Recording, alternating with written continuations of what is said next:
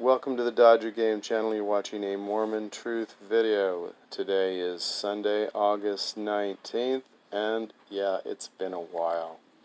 So, today's first video is going to be about the fruits of the gospel as shown by statistical evidence, which we will take a look at right now.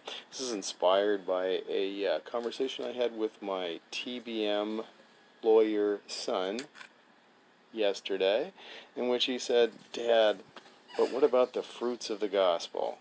So that reminded me that the fruits of the gospel were touted in the book Marvelous Work and a Wonder, or A Marvelous Work and a Wonder, by Elder LeGrand Richards, which I read quite a long time ago, and touted things like uh, low cancer rates in Utah, showing us that the uh, gospel must be true. So we've got a lot more statistics available today. Let's take a look at a few of them. First of all, we've got to know where we've got our most Mormons by percentage. Oh, by the way, I'll probably put some of this information up on my website, which is called Mormon Truth Videos Gospel Topics Hub. It's housed at weebly.com, so that's dot .weebly.com. Keeping it free in case those Danites get to me. Okay, let's go. Where do we have the most members of the Church of Jesus Christ of Latter-day Saints? We're going to go to UtahValley360.com. This is provided to us, a chart provided by Natalie Rosenloff. Thanks, Natalie. She's got Utah coming in number one in the United States on a percentage basis, saying she says we've got 55% Mormon population in Utah. Idaho number two at 19, Wyoming coming in third with 9%. Then we go Arizona, Alaska at 5 each, Nevada and Oregon and Montana at 4%, Hawaii and Washington State at 3. So, which wish wish wish my son had uh, not made it well, he did a, some good things on my phone yesterday to help me, but that split screen thing was kind of cool.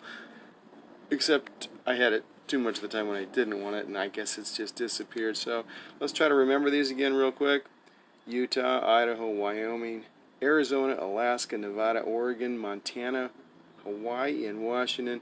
And now we're going to see how these states do with important statistics that tell us how the gospel is helping us live better, happier lives. Okay, what do we got? Which state which state, which U.S. state pursued? Come on now, get out of there, huh? States with the most Mormons. States with the highest porn use. Okay, let's get rid of that because I've already got the answer. And it's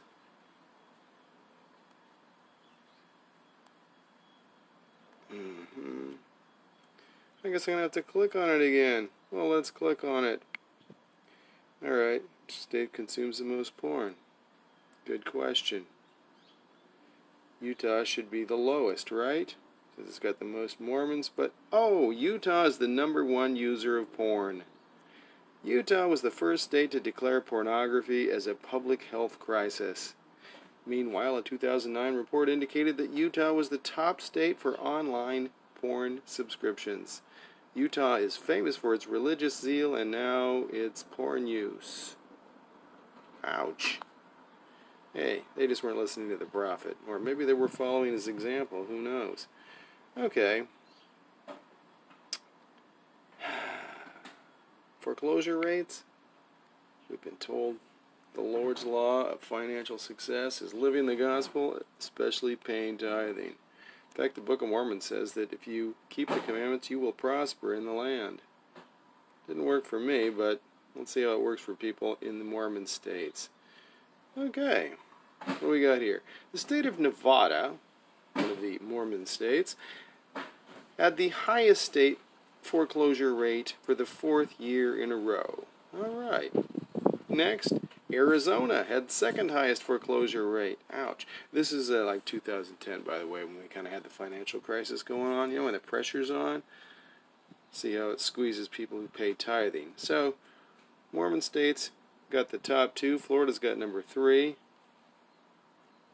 a lot of Mormon land there by the church, but I don't think that counts. The seven other states in the top ten included the country's highest included in the in the country's ten highest foreclosure rates by state were California, next Utah, then Georgia and Michigan, and then Idaho at number nine. So in the top nine, we've got four of the largest percentage Mormon states, including Utah and Idaho, the top two. Actually, I think we got the top four. All right, so um, the Lord's law of finance leads to foreclosure is what the statistics seem to be telling me. Wow, what happened to those blessings, guys? All right, porn, foreclosure, let's go to divorce rate by state. Divorce rates in Utah, no doubt, because we've got the gospel there. So let's look. All right. Oklahoma, the worst in the nation. Second, Nevada, a Mormon state. Third, Wyoming, a Mormon state. Fourth, Texas. Fair amount of Mormons there, but not enough. Fifth, Idaho, Mormonism's second highest percentage state. Sixth is Arkansas. Seventh is Alaska, one of the top 10 Mormon states. All right, 8th, 9th, 10th, 11th, 12th, 13th, and then 14th in the nation is Utah. 15th, Washington, another Mormon state, and Arizona, a Mormon state. Next, then Maine, then Oregon, another Mormon state. So, seven out of the top 10 Mormon states are in the top 20 for the highest rates of divorce. Families can be together forever unless you live in a Mormon state. It's not me, folks, it's statistics. Hey, Dave. Okay, next. What about all this business about kids killing themselves in Utah? Well, little Google search here. Um, Utah youth suicide now leading cause of death for Utah kids ages 11 through 17. KUTV Utah. Suicide rates are skyrocketing and now the leading cause of death for Utah youth. Whatever happened to drowning in the pool or the creek? Now, the number one cause of death for ages 11 through 17 in Utah is suicide. We haven't even gotten to antidepressant use yet. Let's see what Utah is overall for suicide. Here you go. U.S. states rank for suicide. All right, and our fruits for the gospel.